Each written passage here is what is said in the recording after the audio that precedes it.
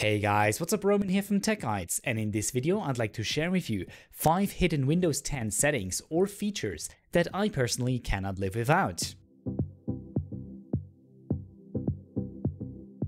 So starting with number 1, on any new Windows 10 installation, I immediately have to change the default Windows sounds.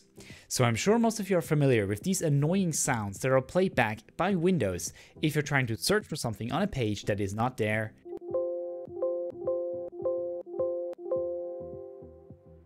if you're trying to change the Windows volume, if you get notifications or if you try to install a program. Luckily, changing these obnoxious sounds is super easy. Click on the Start menu, type in Change System Sounds, and here you want to look for any events associated with the background wave. Go ahead and replace it with the startup sound. It sounds like this. Also, I'm no big fan of the foreground wave sound. So I generally replace the asterisk sound, the critical stop, critical alarm, default beep, system notification, and exclamation sound. Furthermore, I like to change the notification sound as well as the Windows user account control sound. This plays whenever you try to install some software. Now let's have a listen at the result.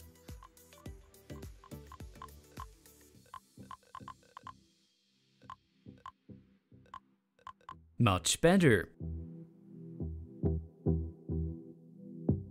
Now, number two concerns disabling the Windows login.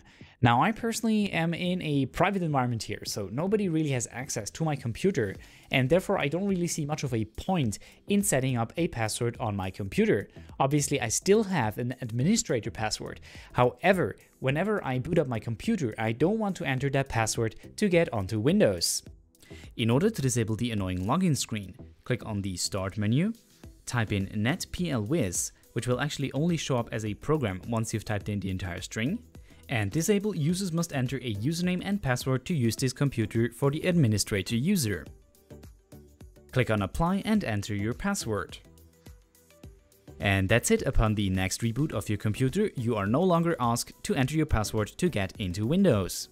However, you have to be aware that anybody with physical access to your computer is now going to be able to log onto your PC.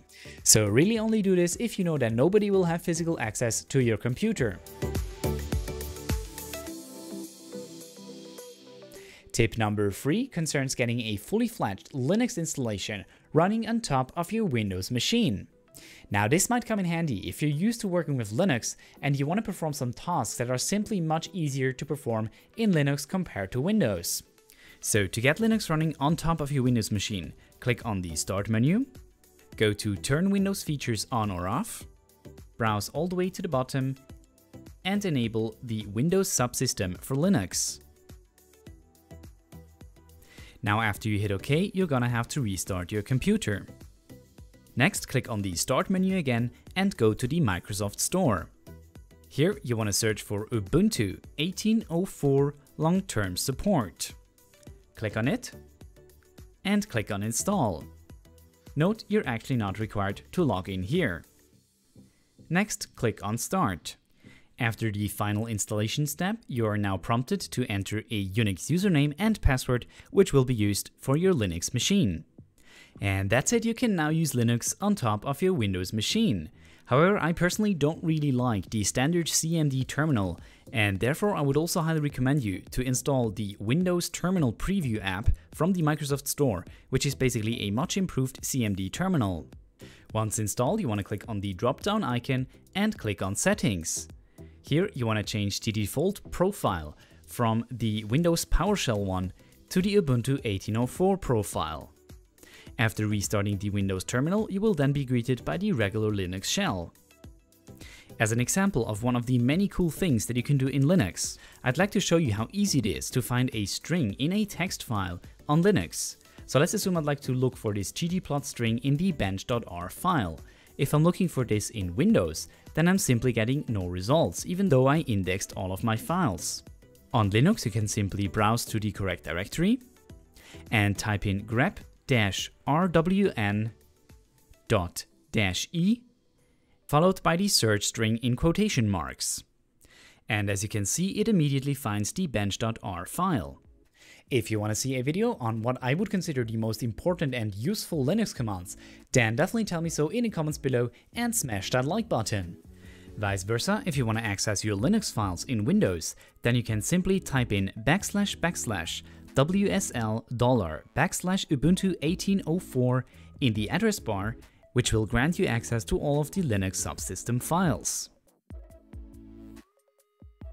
Note that in a future Windows build, which is currently only available in the Insider preview, you will be able to natively access all of your Linux files within the Windows Explorer. With tip number 4, I'd like to introduce you to the new and improved snipping tool.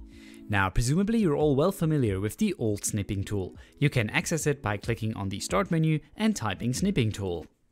However, using the old snipping tool was a bit clunky. You always had to click on new to get a new snip and then save it. Um, and there is actually a much improved version out there. You can bring it up by pressing Shift, Windows and the S key. Once opened, you're presented with four different options to create your snips. The first is the regular snipping tool, so you can just select a part of your screen. You can then click on the notification, mark stuff, or even highlight things on the snip that you've created. For example, that I'm close to 20k subs, so definitely hit that subscribe button if you like this kind of content and you want to support my channel. You can then save created snips as either a JPEG, GIF, or PNG. The fourth mode is basically a glorified print screenshot mode, so it basically just makes a screenshot of the entire screen, but you obviously get the option to save it much faster than going over a secondary program. Next, the third mode allows you to snip a program that you click on using your mouse. So as you can see, this is much faster than with the old snipping tool. You just press Shift, Windows S, click on the window that you'd like to snip, and it's already saved in the clipboard. Finally, with the second option, you can also freeform cut something out of your screen and then save it as a PNG with a transparent background.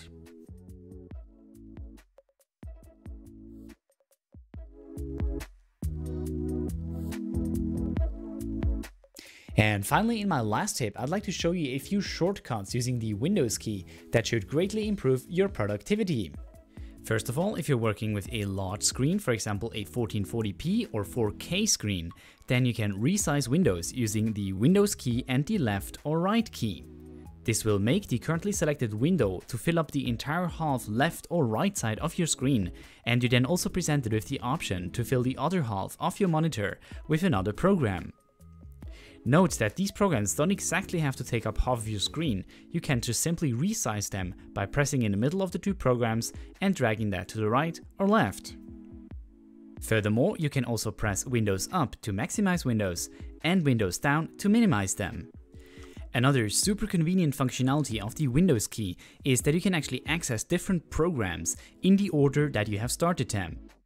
So in my example, if I press the Windows and 1 key, then Thunderbird is gonna open, if I press Windows N2, then Chrome will open. Note if you have multiple instances of the same program running, then you can actually tab through the different instances by repeatedly pressing Windows and the number associated with this program. If I press Windows 3, then I generally open the Windows Explorer. And from there on out, I can just access the programs in the order that I launched them by pressing Windows and number 4 to 9. Finally, you can insert emojis in pretty much any program that allows text input by pressing Windows and the dot key.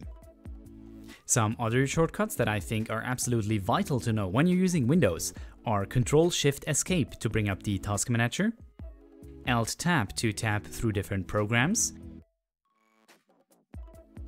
and similarly, if you're inside of Chrome, you can also tab through the different tabs by pressing Ctrl Shift Tab or Control Tab to go in the right or left direction through your tabs. But that about sums up today's video. If you learned something new, then smash that like button. And if you have some other secret Windows 10 tips or features, then definitely tell me so in the comments below. Also, if you don't want to miss out on part 2, then don't forget to subscribe for more content like this. But that's it for today guys, thank you so much for watching, have a wonderful day, and I will see you guys in the next video.